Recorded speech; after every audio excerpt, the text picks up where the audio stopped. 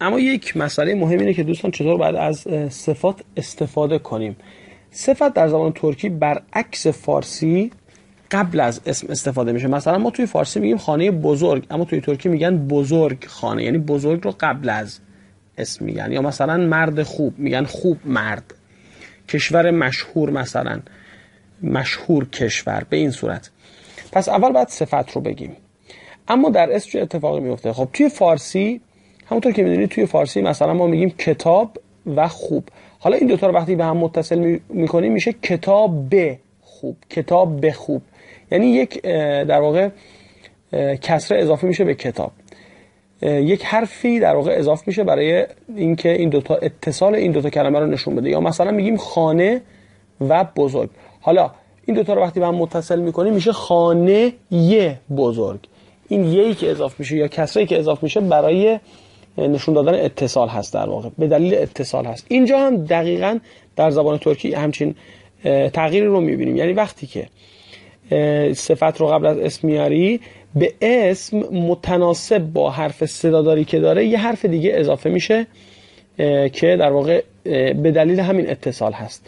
خب مثال ها رو دقت بفرمایید. مثلا یکن یعنی نزدیک.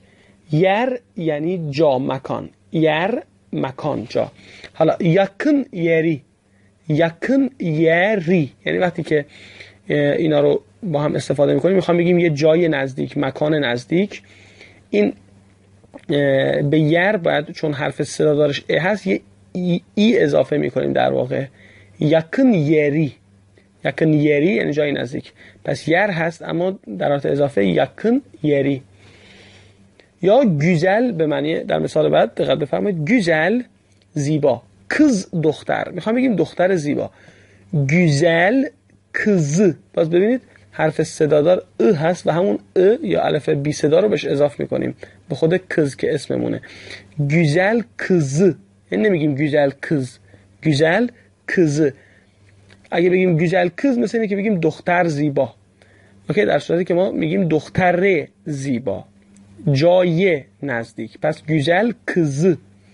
در مثال بعد پهاله داریم به معنی گران و البیسه البیسه لباس هست. حالا می‌خوام بگیم لباس گران قیمت. خب اینجا چه اتفاقی میفته چون البیسه به حرف صدادار ختم شده خب باز همون اتفاقی میفته که توی مالکیت میافتاد. مثلا اگه یادتون باشه می‌گفتیم البسسی یعنی لباس او یا اوداس یادتون هست اگه به حرف صدادار ختم می‌شد برای سوم شخص یه سه اضافه می‌کردیم. اوداس اتاق او.